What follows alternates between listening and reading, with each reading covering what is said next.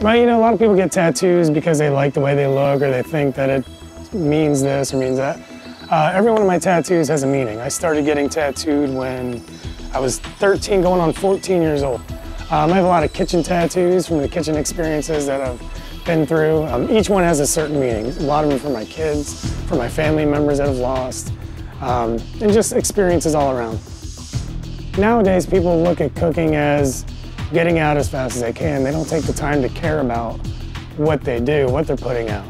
Every dish you put out is a presentation of yourself. Not only is it yourself, but it's the company you work for. But we actually take the time to find the best meats that we can, the best seafood we can, and bring that in, incorporate it with our chefs that we have in the back, and we all come up with great specials that you're never gonna find anywhere around here. Under stressful times, it gets very stressful back there. So you try to make the best of the situation, try to be lighthearted.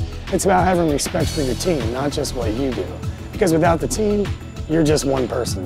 And you may be the best at it, but you're not as good without them. I, I believe that everything should be made with love, with respect for what you do and respect for what people want to eat. I, I believe in using only fresh ingredients in our products, um, only the top shelf lines of what we can get. I think our restaurant is unique because of the quality of seafood and fresh meats that we get in. Uh, like I said before, we get our, our fish flown in from the Honolulu Fish Company out in Hawaii. No other place around here does that. No other place gets the freshness that we get here.